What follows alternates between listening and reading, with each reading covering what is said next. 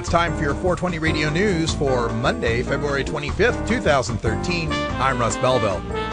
Idaho Senate begins debate on anti marijuana resolutions. We'll cover that in our Behind the Headlines segment. Pardon me. Breaking news out of Florida the home of Cathy Jordan is currently being raided. This from the uh, Facebook page uh, of let's go to that link there, excuse me, from David McKinney on Facebook. The home of Cathy Jordan is being raided in Florida. Uh, according to the reports, there was uh, no arrest made of Kathy, but plants were pulled and her lights and equipment were pulled. This comes just weeks after she was at the Florida legislature lobbying for the medical use of marijuana. We will bring you more details as they become available. Okay, having some problems with some of the sound effects today as well. All right, let's go on to our next story. A bill unveiled to legalize medical pot. This from Politico.com. Flanked by more than 150 advocates from around the country, Oregon Democrat Earl Blumenauer on Monday put forward his legislation allowing states to legalize medical marijuana in an effort to end the confusion surrounding federal pot policy. Blumenauer's legislation, which has 13 co-sponsors, including GOP Representative Dana Rohrabacher of California, would create a framework for the Drug Enforcement Administration and the FDA to eventually legalize medicinal marijuana. It would also block the feds from interfering in any of the 19 states where medical marijuana is legal. The activists surrounding Blumenauer had just come from a four day conference on medical marijuana, and many of them were veterans of campaigns to legalize the treatment in their home state.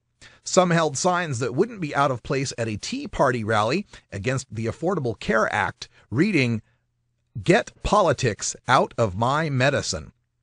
Blumenauer's bill isn't likely to pass, but Americans for Safe Access Policy Director Mike Liszewski said bills in four states, New Hampshire, Illinois, New York, and Maryland, have chance of becoming law this year. Majority of Iowans support legalizing medical marijuana from the Iowa City Press Citizen. More than half of Iowans favor allowing sick people to use marijuana as medicine, but the idea is not as popular as it used to be, according to the Des Moines Register's latest Iowa poll. But a large, steady majority of Iowans disapprove of allowing people to smoke marijuana just to get high. The survey found 58% of Iowa adults support legalizing medical marijuana. That's down six percentage points from a similar poll question posed in 2010. Only 29% of Iowans support allowing recreational use of the drug, up a point from three years ago.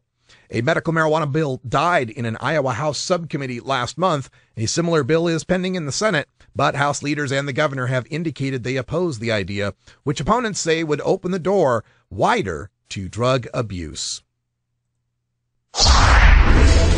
7 in 10 in Florida back medical marijuana plan, and this could affect the governor's race, according to the Miami Herald. As many as 7 in 10 Florida voters support a state constitutional amendment legalizing medical marijuana, more than enough to ensure passage and possibly affect the governor's race, according to a new poll from a group trying to put the measure on the 2014 ballot. A plurality of Florida voters, about 49%, say pot should remain illegal, while about 40% say it should be legalized. But in another question, voters tacitly favored outright legalization when asked if marijuana should be regulated and taxed like alcohol and cigarettes. 68% favored it uh, versus 27% opposed. Oklahoma medical marijuana bill granted a hearing. This from newsok.com. A bill to legalize the medical use of marijuana in Oklahoma has been granted a hearing in a Senate committee. The bill by Democratic Senator Constance Johnson of Oklahoma City will be considered Monday by the Senate Health and Human Services Committee, where it will likely face stiff opposition.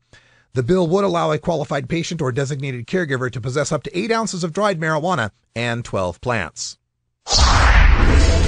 Arizona lawmakers want to overhaul the state's medical marijuana law from the San Francisco Gate. One lawmaker would shut down dispensaries that use unclear labels for its food products. Another measure would allow colleges and universities to conduct medical marijuana research. And a third bill would allow county zoning ordinances to apply to marijuana cultivation.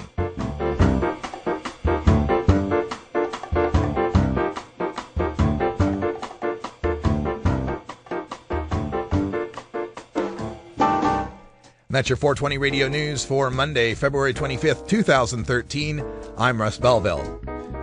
When we come back, we go behind the headlines to my home state of Idaho, where the Senate is debating an anti marijuana resolution. We take a look at the statistics to see if they back up those fears. You're listening to 420radio.org. This is the Russ Belville Show. We'll be right back.